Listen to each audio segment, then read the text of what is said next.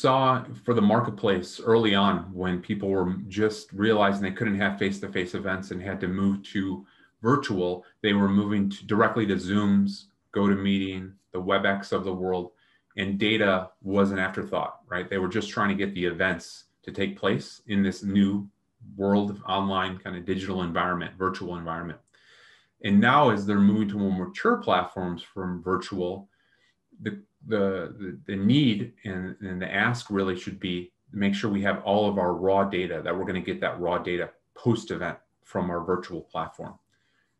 Let alone if we're able to get some analytics during or, or pre-event right to understand what's going on in terms of engagement and our audience and who's converting and things like that. But post event we want to have the raw data back and we want to have all the engagement and interaction at the individual and company level so when we're signing a contract or coming to terms with a virtual platform, a virtual event platform, we want to make sure that they're going to provide that raw information back to us. And sometimes it might be coming in a CSV file. Sometimes it might be, you know, uh, have uh, an integration to our CRM. But whatever it is, we want to make sure we're getting that raw information back, the individual. So we can say, uh, for instance, Eric, and here's how Eric engaged with all the exhibitors and sponsors and other attendees, and here's how many meetings he had. We want to have all that data together in one single kind of file or uh, attached to one ID, if possible, so that we can do some analysis, so we can understand uh, what actually happened within the platform.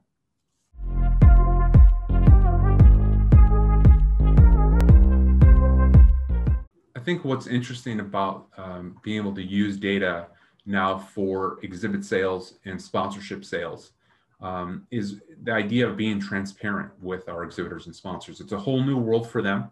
They're coming to a digital or virtual environment for the first time, likely many of them, and they their expectations is they really don't know what to expect. What's going to be the ROI? Am I going to see the same level of, of leads and responses that I get from a face-to-face event? So we need to be able to show them, you know, here's the here's the benchmark of how many leads you can expect or interactions, and not just from a uh, aggregate standpoint, like saying here's the number of clicks or downloads, but truly understanding here's who interacted with you, right? Who's who? Here's who came by your booth. Here's who downloaded your sponsorship content or visited the sponsorship, um, you know, activity or or um, uh, you know setup that was at the event uh, interaction. And so being able to share that information with them post event proves to them to justify here's where your money went right? Here's how many people not just how many but who actually interacted with you. And then providing some sort of benchmarking or baseline and comparing that the important piece is to be able to compare that to exhibitors to sponsors across the event or in their product category. And we can blind out that data, right? So they don't see their competitors' names and they know exactly what their stats are. But to give them some level of understanding of here's how many leads you got, here's how it compares to everyone else that was exhibitor and sponsors at the event. So they have an understanding about success. Now, some of those, you know, we might be fearful as a, a event organizer to share that level of transparent data, but the feedback that we've gotten and we've, you know, heard from our clients is that being able to share that the expectations are, are met because you're being transparent, you're being open and honest. Here's what you can see, and here's exhibit, Mr. Exhibitor, Mrs. Sponsor moving forward. Here's what you can expect uh, from our virtual events, uh, let alone hybrid or face to face moving forward.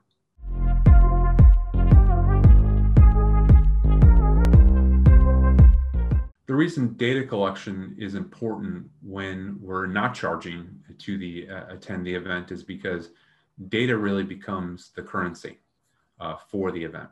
Because at that point, it's not about just getting people into the event. We might think, well, if I'm not charging, I can just ask first name, last name, and email address, and that's fine. Just get them in the door. But someone is underwriting the cost of the event. Likely it's the sponsors or exhibitors. And guess what? They want to know who came. They want to know what they did. They want to know who they are, their demographic information, uh, their business um, their their level of kind of business spend if it's a buyer and seller event. Uh, so being able to collect that level of information becomes the currency for the uh, for the attendance of the event for not charging anything. So we want to we don't want to have the mindset of well, if we're not charging anything, we don't have to collect data. It's really the opposite.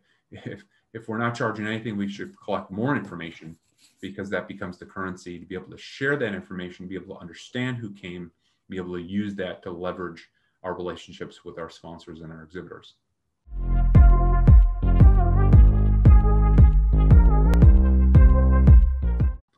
We know that um, during uh, this time with uh, the pandemic, people are working at home. Uh, they get distracted. They might have best intentions to to attend a, an event, a virtual event. Um, but if they don't pay for it, the intentions sometimes go out the window. They have a meeting pops up, something else distracts them.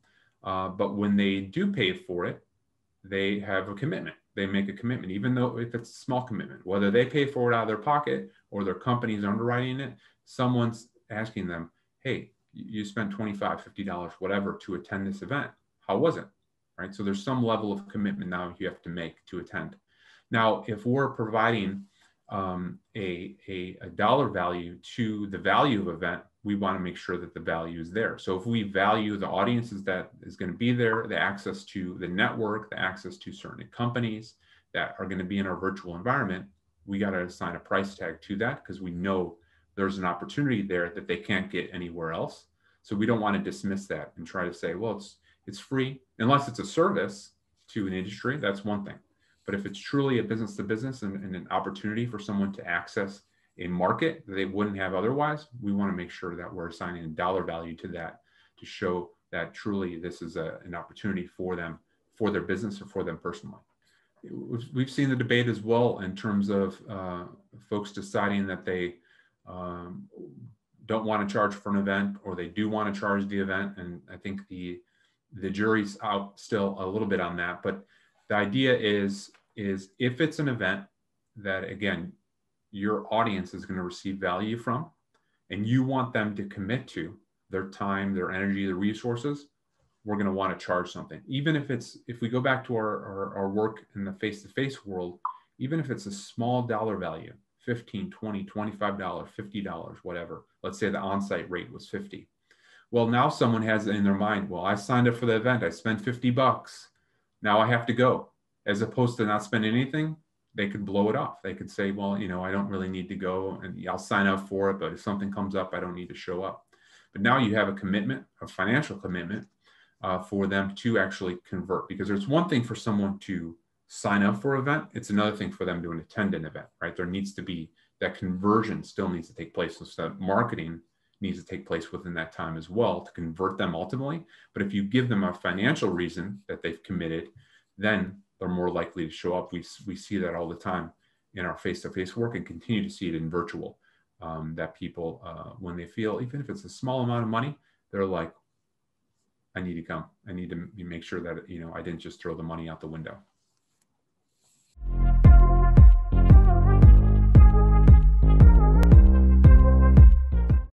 Think about uh, attendee engagement and attendee composition and who's who's coming to the event, we think about what on the platform side, what elements are are can be engaged with, right? So many platforms have one-on-one meetings or matchmaking, or they have obviously an expo hall. They have the ability to engage with sponsors or download information or you know catch a catch a live session.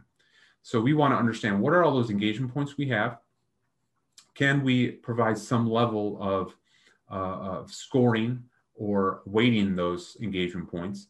And then look at our audience and figure out, okay, who was the most engaged, right? Just not just on an individual level, but also on a company level and be able to group those people together.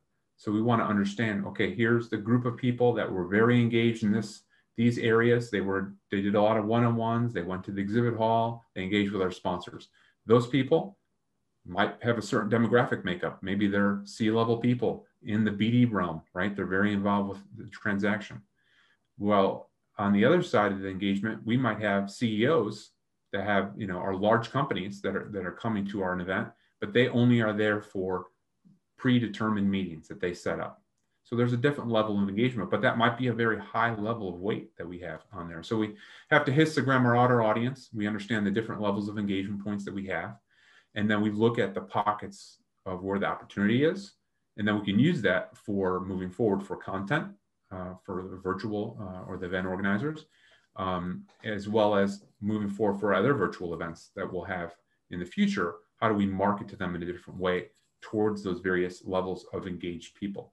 Uh, we can even tell them, right? Be transparent. We know you were involved in this. We know you're interested in this. Let's let's personalize our marketing again based on the data that we have on the engagement side within the virtual platform. We've never had that level of data and that level of granularity before in the event in the event world.